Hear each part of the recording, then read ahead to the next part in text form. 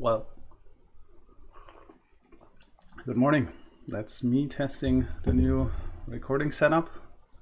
Quite some lighting going on here. I get a new microphone um, to record a few introduction videos on uh, the Asset Tracker Cloud example.